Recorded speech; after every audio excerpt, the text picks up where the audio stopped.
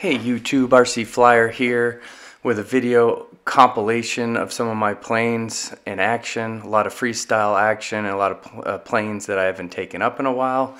So enjoy the video and remember to subscribe if you like what you see.